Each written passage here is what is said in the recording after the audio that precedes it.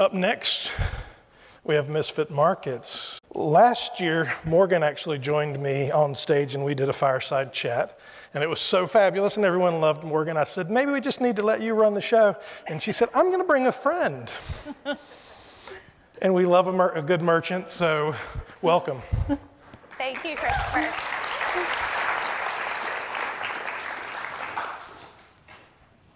All right. Hey, everyone. Uh, we're super excited to be here today with y'all and talk a little bit about what we're doing at Misfits Market as a value-based grocer that's delivering value to our customers.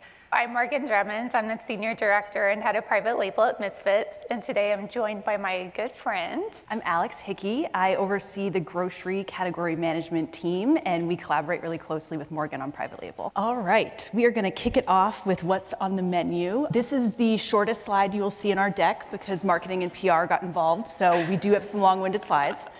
But Morgan will kick off with a company intro, and then we'll talk about what we do and why, share some customer insights, and then dig into sustainability and how it plays a role in our assortment strategy, and then have some fun talking about private label and some partnerships that have worked really well for us. So, who is Misfits Market? If you're not familiar with us, we were founded in 2018, and we're the leading e commerce retailer that really prioritizes value and sustainability. So, we like to think of ourselves as a pioneer on a national level for the ugly produce movement. So we are really big on finding ways to incorporate food rescue into our vision and mission for the overall company. We really think that this two-pronged value proposition of value and sustainability really situates, situates us well in the total addressable market for our customers to, to help bridge that eat-say gap, which we'll get into later. And of course, I wouldn't be doing my job if I mentioned private label, which I'll get into a little bit more later on. But it's been an exciting part of our evolution, which you can see a little bit more of here. So we were founded again 2018. Actually, I think next month we'll be celebrating our five-year anniversary as a company. And we were founded uh, in the Philadelphia area. So it all started with rescuing ugly fruit and other produce items, local deliveries to the Philly customers, and be, beyond that, over the last five years, we've really scaled up. Of course, the demand from the pandemic really helped, but that also was the push that we needed to get into other types of categories. So about 2020 into 2021 is when we scaled beyond just produce and we started introducing consumer packaged goods into our assortment.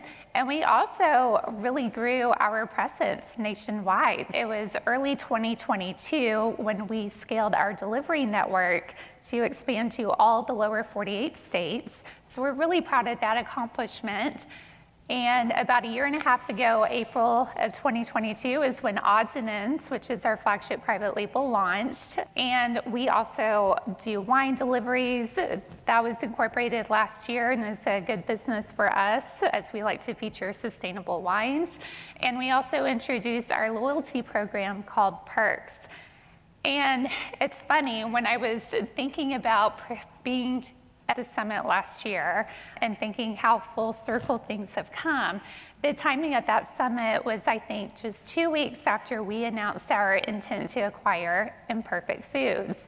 And over the past 12 months, there's been so much change and evolution and integration as we combined the two legacy companies into one stronger company. Because, as I said last year, we were two sides of the same coin, really trying to get after how we can challenge the inefficiencies in the food industry and bridge that gap so we can do more together. We've been very busy integrating our warehouse network, our assortment, so all of our customers are getting to choose from the same great assortment private label teams. Alex and I are a perfect example of that. I came from the Legacy Misfits team, and Alex from the Legacy Imperfect team. So, part of the integration work was really bringing the two companies together and re identifying our vision and mission and bringing like the best of both worlds together. So, our vision is to reimagine the food system and build a sustainable system that eliminates food waste. And our mission is to reduce food waste and make shopping for sustainable, high quality groceries easier and more affordable. Next, we'll dig into what the problem is and, how we're proposing to solve it. About 38% of all food in the US goes unsold or uneaten. And I know I'm guilty of this. I buy food and don't eat it and feel guilty about it and compost it. But we've been working with farmers and producers that have large amounts of product that's either destined for a landfill or a lesser outcome.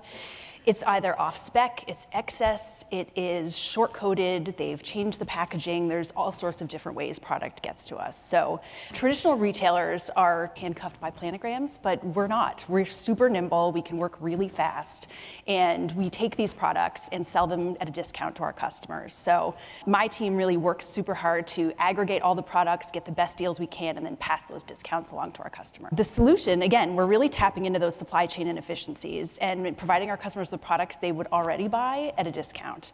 We sell all fresh produce at a discount at, of 20% with staple grocery items, and then we offer discounts up to 40% on these opportunity buys. Quality is a huge part of what we do. We want to provide better for you options, and we want to really give our customers these deals and these treasure hunt items that they can't find anywhere else. And it's convenient. We have an app, we're fully digital, and they can purchase. And like Morgan said, we're in every state now so that people can support us and, and get these great products.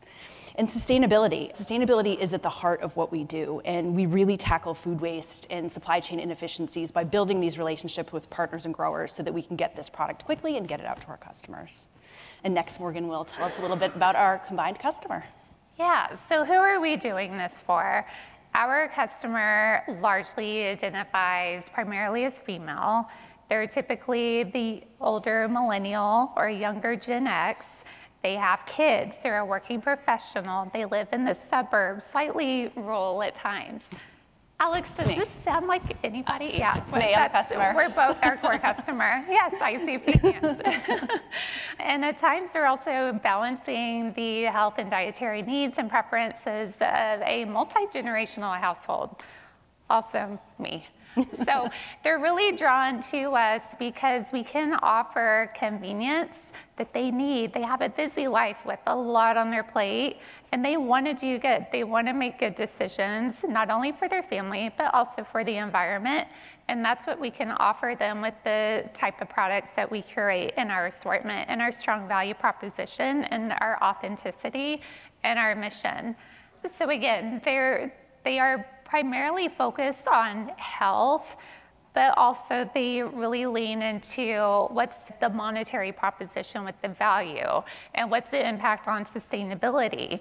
And why they're not eating more sustainable is because there's this barrier with cost that I think we all feel now, especially right now in inflationary times. So we're really well positioned to offer this two-pronged value proposition and help bridge that eat say gap because we know as we've heard earlier in the presentations today more than half of customers know that the their food choices have some sort of impact on the planet, whether it's positive or negative. People want to do good. They want to do better. They're becoming more educated and they want to help uh, leave a better planet behind for their loved ones and these younger generations. I think we all want that. So we are really excited that, again, we can bridge that eat, say gap and hopefully remove some of that barrier with our aggressive discount to customer proposition and being very curated and intentional with the products that we carry, especially as we get ready for Gen Z, and then who knows what the spending power of Gen Alpha will be after that. So we really want to set the stage up to be that resource and avenue and pull back some of those barriers to purchase with our customers. So we talk a lot about sustainability, and we don't just talk the talk. We really do try to walk the walk as a company. So some of the things that we're really proud of because we are very intentional with how we're tracking the food rescues that we buy and bring into our assortment. We are proud to say that we rescue on a weekly basis about a half million pounds of food that would have gone to a lesser outcome or waste. So that's good for the environment. It's good for our customers. We can usually offer it at a, at a discount. And it's great for those suppliers too because it gives them a better profit stream for that product as well. Through these efforts, this also allows us to conserve nearly 6 billion gallons of water life to date. And life to date, we've amassed about 2, 2 100 million pounds. That number always astounds me. I have to always get it right. Almost 200 million pounds of food that would have gone to a lesser outcome since we started tracking. So, really proud of those. We're also excited to say that all five of our warehouse facilities are on track to be true zero waste certified by the end of 2025. So we're trying to weave sustainability in not through assortment, which Alex will expand on here shortly, but through our facility operations, as well as we're being very mindful about our impact as an e-commerce retailer with the amount of packaging that we use. That comes with the territory, and we want to be really responsible with how we go about that. So we are taking it upon ourselves to be very conscientious with that. Again, try to remove more barriers uh, to our customers. And we offer a lot of our customers a free closed loop packaging return program. So our drivers are already going to their houses on a weekly basis. So for those customers, we have them and offer them to keep their cold keeper bags, or ice blocks, and things that technically can be recycled, but not as easily for themselves as an individual. They can hold on to that, put it out on their doorstep, and their driver will pick it up and return it to our facilities where we are able to bulk aggregate all the recyclable materials and take care of that for them. So sustainability isn't just a gimmick or a branding exercise for us. It literally is at the core of everything we do and, and, how we source our items. Just a couple of different ways we provide value. Rescue and off-spec items. I think the grocery items are amazing, but the produce items are so fun. So we have had giant beets. We've had huge grapefruits, celeriac that could barely fit in a box. And our social team partners with our produce team to find like cool ways because people will get it and be like, what do I do with this? So it's really fun to see customers engaged in these items that we're rescuing rescuing. And again, like my team really focuses on grocery items that come to us for a variety of reasons, which we'll get into later. We also have these opportunity buys, which again, excess, short-coded, packaging design. We, we tackle it from every angle. And then private label, odds and ends. It's been really awesome to take the imperfect items and like work with the imperfect team to balance out the misfits assortment and bring it all together. Morgan will talk more about that in a little bit. Next on to opportunity buys. This is an ad we ran recently that I thought was really cool. What's wrong with this ribeye? Nothing. It was excess inventory from a nationwide restaurant chain that we were able to purchase at a discount and sell to our customers for 20% off. And they were fantastic steaks. So again, always looking for ways to find new items that we can add to the assortment. And then we had these Olira breakfast biscuits. We were able to offer them our, to our customers at $2.99, which was a 43% discount to customer because they were short coded. And then Verb energy bars. These typically retail for over $20 for a pack of bars, and they had excess packaging that they needed to use before they um, changed their designs. So we were able to offer them to our customers at $9.99, which was a 50% discount. So again, having these treasure hunt items that customers can um, you know, rely on us for is really, it's, it's a fun part of the sourcing journey, but also a fun part of being a customer. Now I will kick it over to Morgan to talk more about odds and ends. Okay, I'll get on my private label soapbox here. it wouldn't be a Velocity conference without talking about private labels. Really excited with the success of Odds and Ends, our private label program, over the past year and a half. Really, the private label program is situated to be that opening price point, provide the value proposition, but also be that better for you entry level option. But what we really try to go after in terms of differentiating us is leaning into how can we make this product sort of a misfits and fit it into the odds and a name. That doesn't mean that every product has some sort of upcycled or rescued attribute to it, something that I'm very passionate about and very bullish about is making sure we're not greenwashing. So I'm being very intentional with the claims and callouts that we are making, but also prioritizing the supplier partnerships where we do have those creative sourcing opportunities. So it's fun to, to go into those supplier partnerships just with a question asking mindset about What type of inefficiencies do you incur and encounter regularly throughout your production process? Or do you have any cosmetically off-spec product that's still perfectly safe to eat that other well-known retailers won't take? How can we be nimble partners in providing a an outlet for that and also use that as a way to extend a value proposition to our customers? So again, we like to look after products that are rescued. I think about our Imperfect Foods broken jasmine rice has a few more broken kernels than what's typically allowed, but we take it. It cooks up just the same.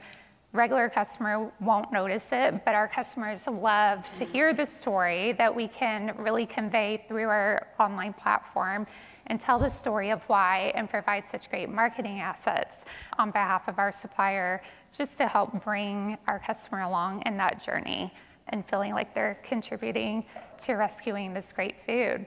We also are really bullish on upcycling. There's been a lot of talk about that today. Angie Crone would be so happy, I think. but we do have quite a few products that are uh, being upcycled certified or getting recertified, and that continues to be at the forefront of some exciting new product development that we have planned over the coming year. And also, where possible, and again, really bringing it back to balancing one, what we can meet just in terms of cost balancing minimums, but also what are supply, what are from us, and what can ship easily and efficiently too. So an example of that would be our olive oils. We've moved away from glass, or we're in the process of moving completely away from glass to aluminum tins. It provides for a better experience anyway and preserves the, the quality better and lower freight, less carbon yep. emissions. Yep. And also, it's an award winning private label brand. Shout out to the Vertex Awards. Mm. Thanks, Christopher. I almost brought my trophy, but I forgot. It's at home. No. We were excited to win gold in the new brands category at the Vertex Awards earlier this year. So really proud of that recognition that we've gotten for the design system. And we were also excited to recently be recognized by Store Brands Magazine as a game changer brand, uh, recognizing our authenticity and mission driven work. So awards and all are, are great, right? But what's the true impact to the customer and also to us as a company? We have grown to about 20% of the grocery dollar share. So private label has 20% share about for us right now. And through our data, we can tell that customers that purchase our private label have higher net promoter scores, they're stickier, they, we have better retention with customers that purchase private label, and the presence of private label helps drive up our units per order and our gross margin value in those boxes. And with that, the customer recognition is there. They're seeing the quality and they're seeing the value, and there's a, a, hunger and a thirst from them that we continue to grow, which we have been. With the acquisition of Imperfect Foods, we've merged two different private label assortments. And if you're a customer on our platform, you still probably see odds and ends and Imperfect Foods. Mm-hmm. Y'all are gonna get a sneak peek. Y'all are the first ones to, to see this besides a few of my friends and coworkers. But we are starting to rebrand the Imperfect Foods private label into the odds and ends banner. So we're really excited that this um, integration of what also was such a very mission driven, purposeful private label program and really innovative too it's going to help bolster the odds and ends presence and really fast track our entry into different categories. So just going beyond dry pantry, we'll see odds and ends pop up soon in cheese, eggs, uh, a lot more candies and snacks. Mm-hmm. Our customers really love those. So here's a sneak peek of what the before and after will look like uh, for some of our dry grocery items. So you can see some pastas, olive oil and vinegars there with the new odds and ends treatment standard. And we're excited to take this opportunity to honor the, the best of both brands and what has worked well, and also take the opportunity to flex the odds and ends design system a little bit more, continue to bring in more color, less negative space in the package too, and in our very mission aligned products going forwards, like the ones that have those fun attributes of being rescued or upcycled, we have a new badging system that is, I think, a little more clear and concise and easy to understand from a consumer's point of view, but will still help tell the story and call attention to those unique products. So that transition for all the Imperfect Foods private label products we're keeping will occur throughout the coming year. So keeping me busy when it comes to, to rebranding. But another way we love to activate on private label is through uh, co-branding partnerships. So Again, referring back to the expos and Upcycled Food Association, at Expo West earlier this spring, we co-hosted the Upcycling Challenge with the Upcycled Food Association. And we gave a call of action to the industry ahead of that and welcomed CPG companies to submit some new product innovations that highlighted upcycled ingredients that could gain that certification. At the challenge uh, pitch slam session at Expo West, we heard from seven finalists and we selected three before we left and wrapped up Expo West. So our three winners were Chomps for a meat stick that we'll show you a case study of soon, as well as Petit Pot with an amazing upcycled rice pudding. And shout out to their rice supplier who's with us today. So we are excited to make that happen. And then also Atoria's Family Bakery for a mini naan using regrained uh, super grain upcycled flour. And there's an image right there. And I think that product also won a NEXTY award yep. too last week at Expo. Awesome. Future opportunities, different ways we're looking to partner with suppliers. Replenishment and everyday items, staple items that are always available on our site. I often tell suppliers, let us be the premium high-end outlet platform for excess supply. You don't have to work with other suppliers. We can take it and we can sell it, and it's really a great way to keep the brand equity and not deplete that. And then also off-spec items. Again, items that don't meet traditional specs, whether it be weight or a packaging misprint. We're always happy to work on that stuff. Partnering with Morgan on private label opportunities. And then just new products that really complement all of our brand's goals, sustainability and just providing better foods for our customers. And again, you don't have to be one or the other. Some suppliers start with us as opportunity buy suppliers and then they become an everyday supplier and vice versa. And same with private label. So we are really open to working with all kinds of suppliers on pretty much any kind of project at this point. So an example of one of these wins would be, who all here has heard of Belgian Boys? Yes, stroopwafels, mini pancake cereal. They came to us with a problem. Those stroopwafels are delicious, but they can be pretty delicate in production they were telling us we have all this breakage, and we said, let's work together on a co-branded upcycled stroopwafel project. And so we've launched that. They're a great partner to work with and such a fun brand too.